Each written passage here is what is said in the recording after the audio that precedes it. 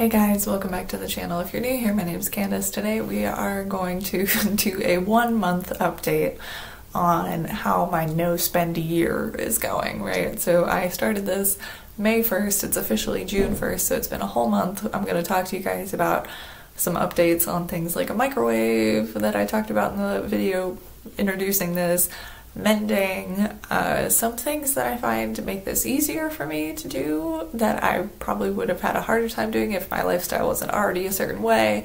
We're just going to talk about it. Just some updates, easy peasy video. First, we're going to pray, then we're going to dive right in. God, thank you so much for giving us resources and blessings and just for taking care of us.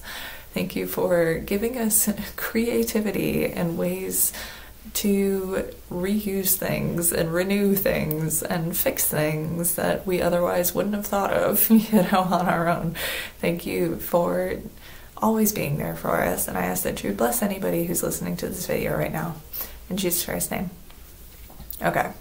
So we'll do the microwave update first, okay? So in the video where I talked about how I was going to start the no spend year, I had mentioned that my microwave had broken down like a week prior or something like that.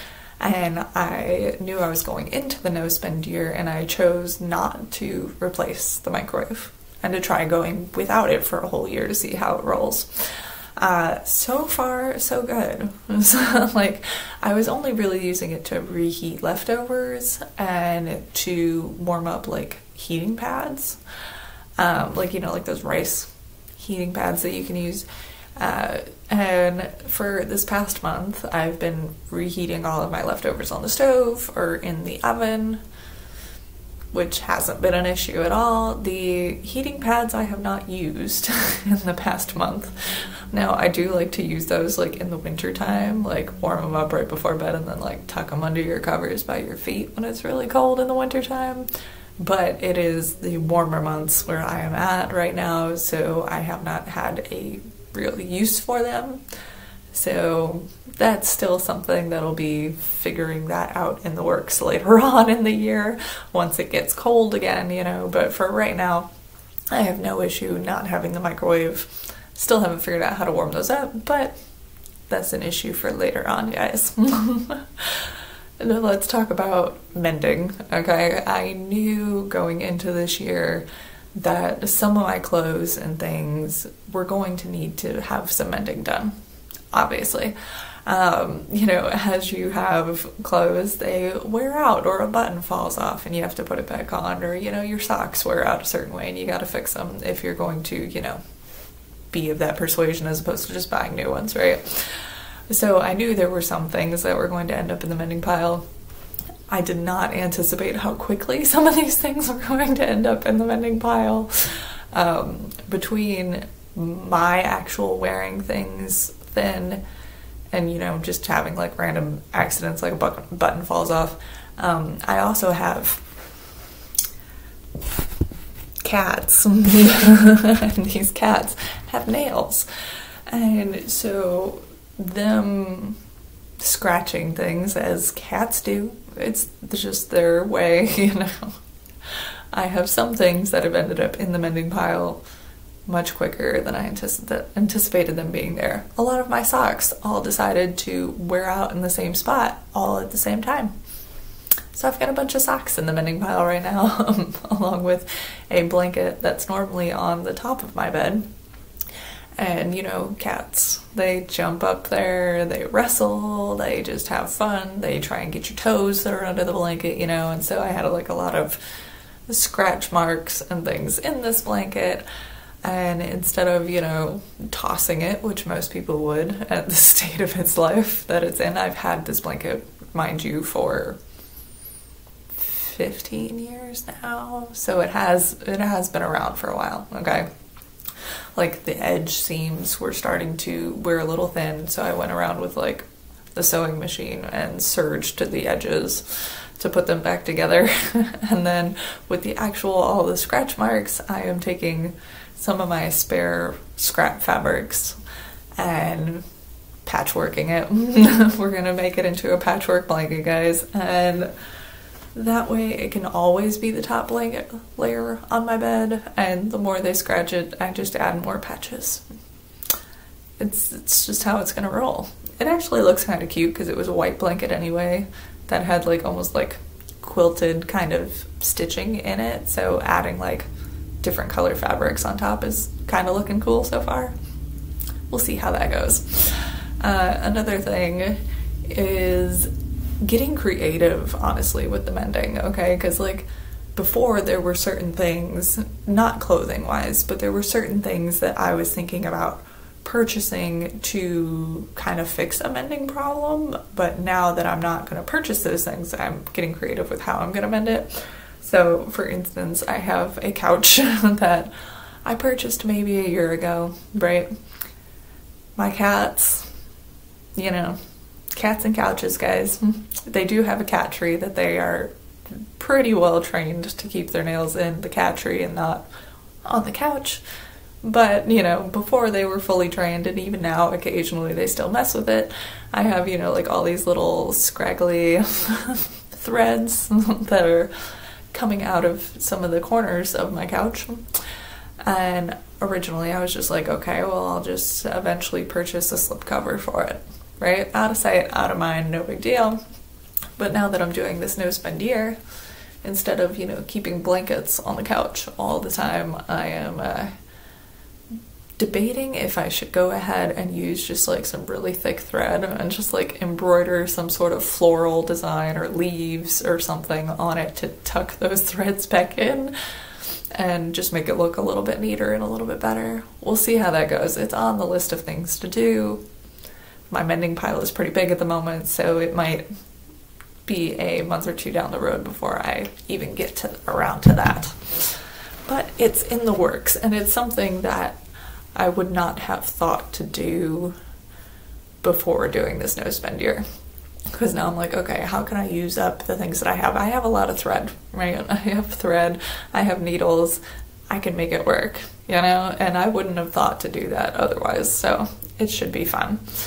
Uh, one of the things that I have found in the whole mending thing for me specifically is you know, like back in the day, women used to just like sit around the fire at the end of the day, their fireplace, and that's when they would do the mending was in the evening.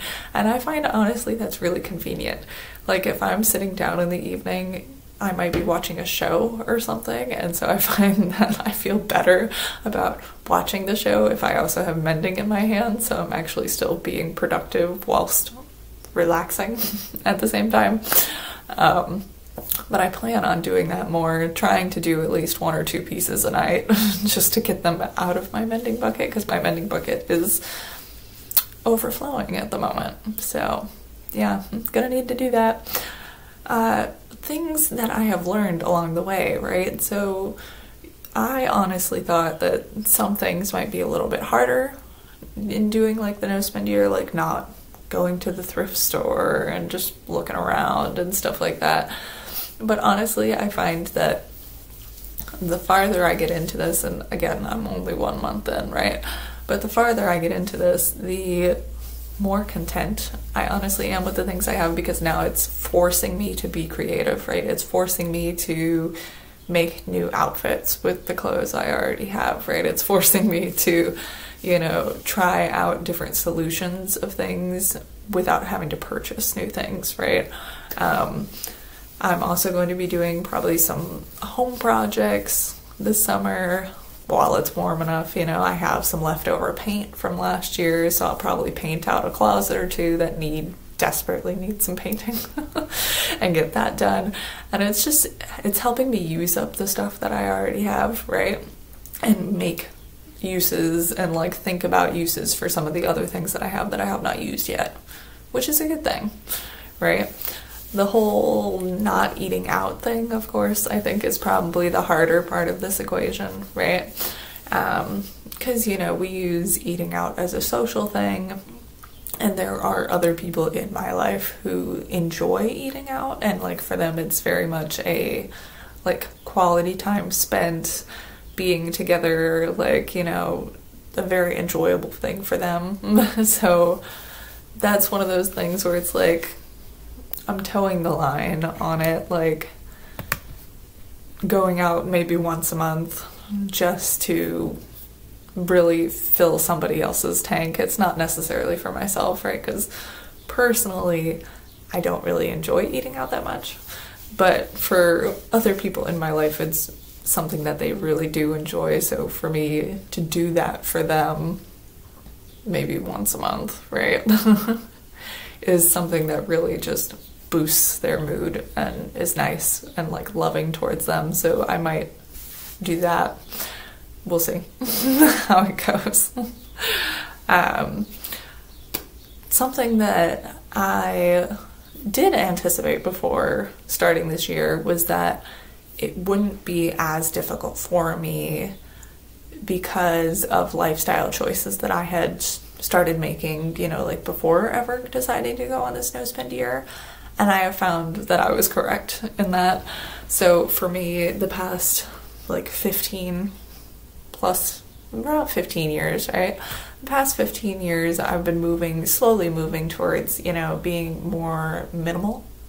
Not like stark white house with barely anything in it, kind of minimal, okay, but getting rid of the excess of the things that I had in my life, minimali- minimizing my like beauty routine, if you want to call it that, even though I don't wear any makeup and stuff like that, you know, mm-hmm. minimizing my self care items, you know, minimizing the things that I buy already. I was going for more reusable options as opposed to disposable ones, right?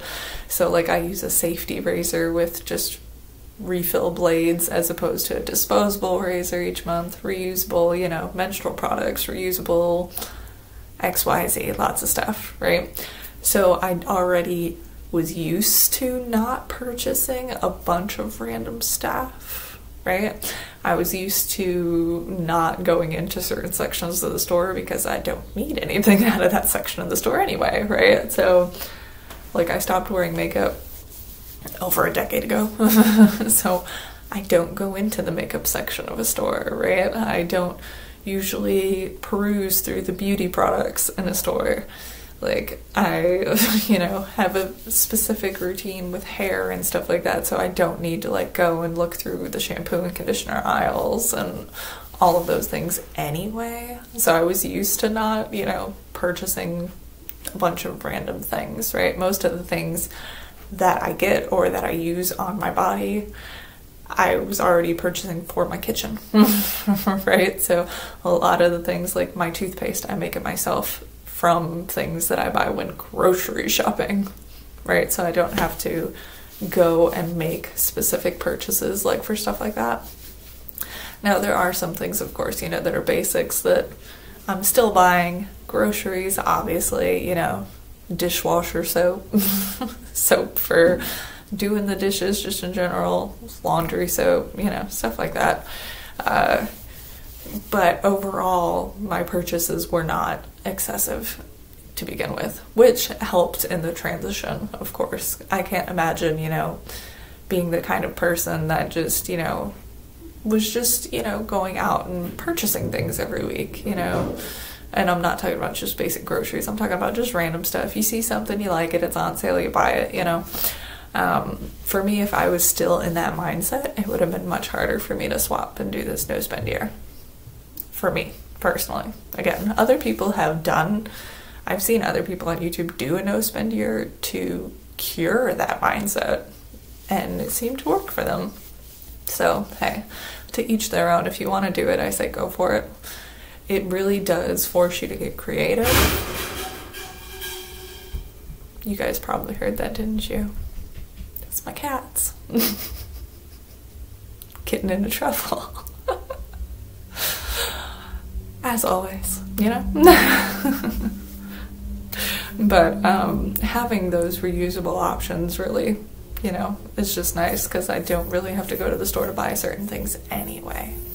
Now, of course, I'm only one month in. We'll see how this continues to go as things like all of my socks probably end up in the mending pile. and we keep going, you know. Who knows if my socks ultimately bite the dust before this year is over. I will like pick up crocheting or something because I do have crochet needles and I've got yarn. I'll crochet myself a pair of socks. I'll learn how to do it specifically and I'll show you guys the results if I do end up running out of socks before this is all over. but other than that, I don't foresee there foresee there being any particular issues with this no spend year. It's going really well. I do like the creativity. It's making me think about different things that I can do with the stuff I already have and different ways to fix things without going out and buying new stuff, which is kind of fun to be creative in that way. And, you know, it's helping me use my resources, steward my resources well, which, you know, in the Bible it talks about a lot of, you know, how to steward your resources well, to be, you know, a faithful servant to God in what He gives you, right? And the things that He gives you to use them well, whether that be time, money, talents, you know, resources, all of that, all the things that He's gifted us with, right, is for us to use and steward well. I think that's about it for this update, guys. We're one month in. I've got 11 months to go. I will give you guys another update in another month and we'll see how it goes. Bye, guys.